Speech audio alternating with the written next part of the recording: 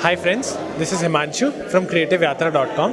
Right now we are standing with prolific painter Gulam Mohammed Sheikh ji who is coming right from Baroda just to celebrate Amit Ambalal's 75th birthday. Let's have a word with him about what he has created specifically for Amit Bhai and uh, how he shares a very great bond of friendship with Amit Bhai. Hi sir.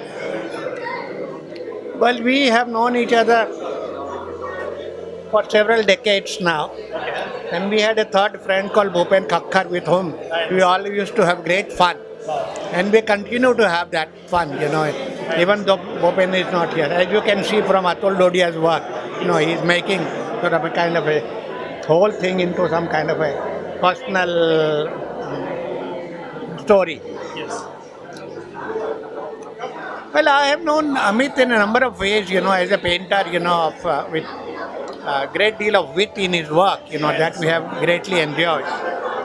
At the same time, he is also a, a connoisseur of art and he has got a fantastic collection of paintings, including the Pichwai, and which we have greatly enjoyed. Every time I come there, I usually stay with him and uh, we go and see the great collection that he has made. So uh, if you can tell us something about what you have tried to made over here in your art.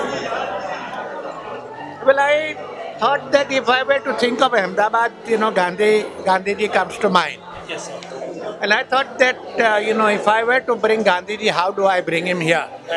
So I thought that I will bring him in Hriday Kunj, you know, the little uh, abode that he lived in.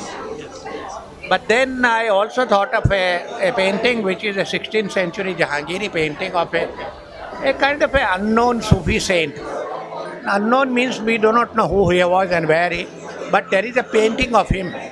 It's called painting of, it's, it's a, it, the painting says that this mad mystic has moved to this place now.